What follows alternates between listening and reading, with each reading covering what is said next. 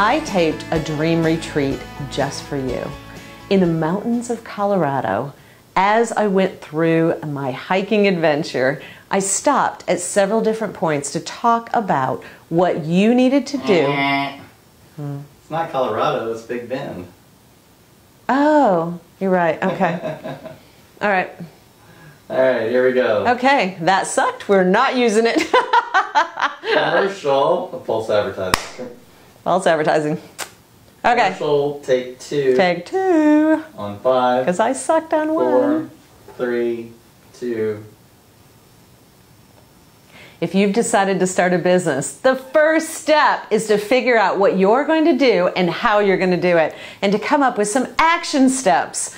I recorded a dream retreat in the mountains of Big Bend, right here in Texas, and stopped at several different places to walk you through what you need to be working on. And you can find it at the link below. Check it out, get it, watch it a few times, and get your action plan on target. what the frick word was I looking for? we never should tape these after an episode. We should tape it first. Commercial break. Commercial break. Take Take three. three. On five, four, three.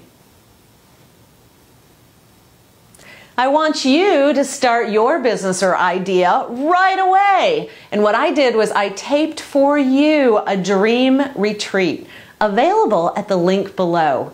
If you get it, you need to check it out, watch it, because while hiking Big Bend, I stopped in several different places and talk you through what you should be working on to get the ball rolling. I want you to find your destiny and I want you to take action. Click the link below and join me on the retreat.